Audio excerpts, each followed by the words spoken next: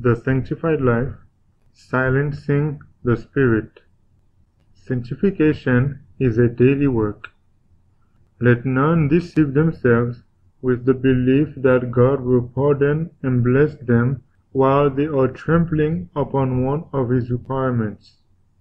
The willful commission of a known sin silences the witnessing voice of the Spirit and separates the soul from God.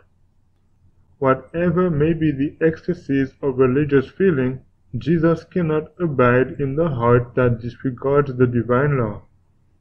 God will honor those only who honor him. His servants ye are to whom ye obey.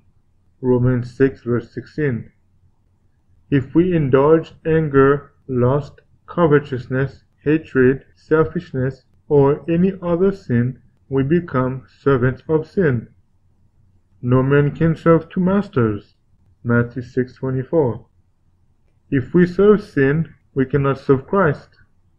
The Christian will feel the promptings of sin, for the flesh lusteth against the spirit, but the spirit striveth against the flesh, keeping up a constant warfare. Here is where Christ's help is needed. Human weakness becomes united to the divine strength, and faith exclaims, Thanks be to God, which giveth us the victory through our Lord Jesus Christ. 1 Corinthians 15, verse 57. The Sanctified Life, chapter 11, The Christian's Privilege.